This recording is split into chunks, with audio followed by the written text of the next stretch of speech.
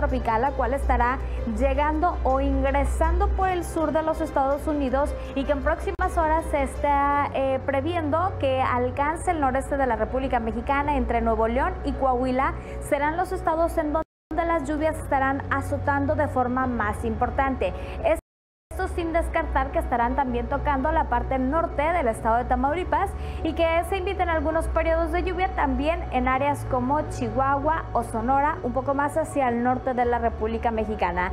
Esto es más allá de la distancia que guardemos entre Jalisco y el noreste del país. Es importante conocer la trayectoria de Hanna como una tormenta tropical. No representa ningún riesgo para Jalisco. Acá en Guadalajara, por ejemplo, las condiciones favorecen a que haya por esta aguada que ya mencionaba y también por el aire húmedo del Pacífico. Por eso no descartamos que esta noche haya cielo medio nublado, mayormente nublado y la temperatura desciende a los 19 grados. Mañana temprano no pasa nada, el pronóstico va a ser muy estable, así que habrá que aprovechar la mañana, mientras que por la tarde empezamos a recordar que es ahí cuando se desarrollan o se empiezan a formar estas tormentas, la temperatura que sube a los 26 grados y luego que desprende algunas lluvias. Es por eso que la noche de mañana, en las próximas 24 horas, no se descarta observar condiciones de cielo mayormente nublado. Empieza a despejarse poco a poco, el domingo 16 a 27 grados seguirán las lluvias, con mayor razón para el próximo lunes porque a partir de la fecha se prevé el cielo mayormente nublado. Siguen las lluvias en el puerto, allí en Vallarta,